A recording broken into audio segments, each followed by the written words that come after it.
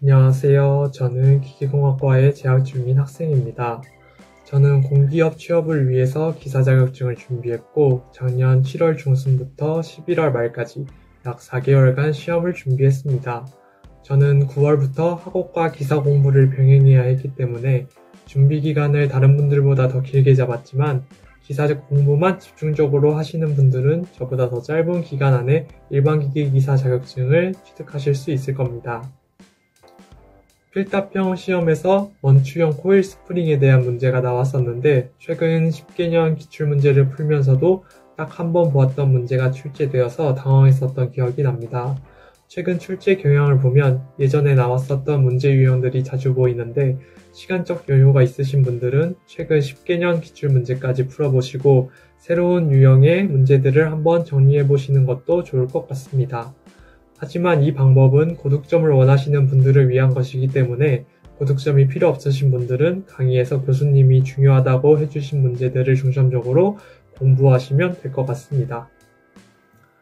공기업 입사를 위해 기사 자격증을 준비하시는 분들에게는 수험 기간이 중요하다고 생각합니다. 아무래도 기사 자격증뿐만 아니라 토익, 한국사 같이 다른 준비해야 할 것들이 많기 때문에 수험 기간이 길어질수록 점점 초조해지고 불안해질 수 있는데요. 강의에서 교수님이 강조해 주신 부분들을 위주로 집중적으로 공부하시면 단기간에 시험에 합격하실 수 있을 겁니다. 이론적인 내용을 이해하고 외우는 것도 중요하지만 그 내용들을 문제에 적용시키는 것이 더 중요하다고 생각합니다. 따라서 다양한 유형의 문제를 여러 번 풀어보면서 각 문제에 적용되는 공식들을 잘 정리하는 것이 좋다고 생각합니다.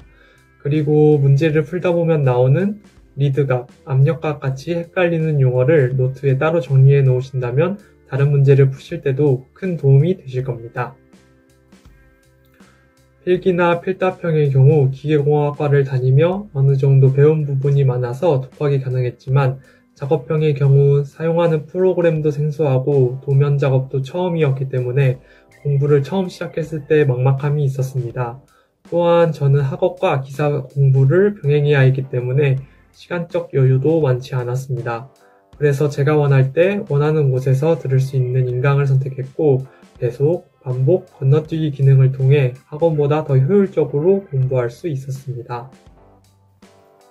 어, 기계공학과를 전공하시는 학생분들 중 졸업하기 전 취업을 위해 뭐부터 해야 할지 막막하신 분이 있다면 저는 일반 기계기사 자격증을 취득하시는 것을 추천합니다.